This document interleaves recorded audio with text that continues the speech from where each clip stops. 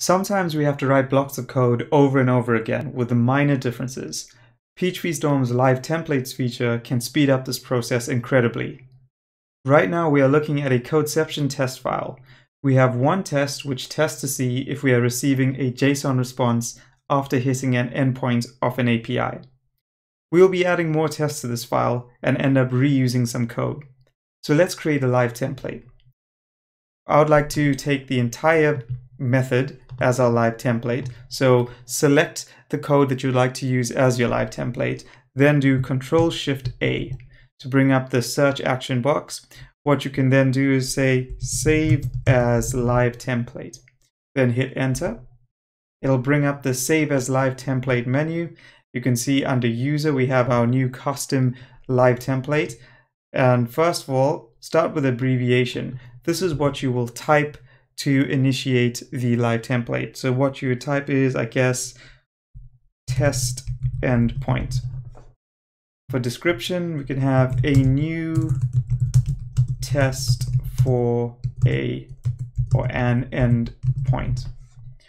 Let's just bring this up a bit. You can see this is the code we've selected to use as our live template. Let's just neaten that up a bit.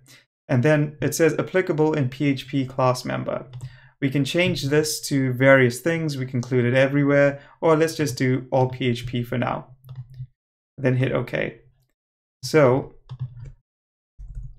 let's try use our live template. Test, and then we go, we have test endpoint. Hit enter, and it's done it for us. It's it's pretty much much quicker than a copy and paste. But we'll still have to go in here and type the, the method name again, the I want to, all the stuff. So let's change this. We can get rid of this. Now do Control Alt S. It'll take you to the settings menu. In the search box, type live template. We go and select user and then our test endpoint. We'll bring this up a bit. And now we can actually use variables in this live template. So let's get rid of this name because it's something that's going to be different each time. And we can start with the dollar sign and say method name and close with a dollar sign. Now let's do the same for our description here. So we can just make that description and close the dollar sign and the endpoint as well.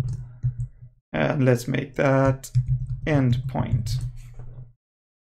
There is some options over here as well, like a default value or skip if defined. So if you want to dive into that, you can. We don't need to for this. Let's hit OK. Test endpoint and hit enter. You see our cursor is already at the method name. We can say it will return all terms. Now we press tab to go to the next place. And I want to see all terms. Hit tab and that'll be our endpoint, just terms for now. Hit tab and we're done. So that's how you use live templates, guys. It's really useful. Every time you find yourself duplicating code, just create a live template and it'll make your life much simpler.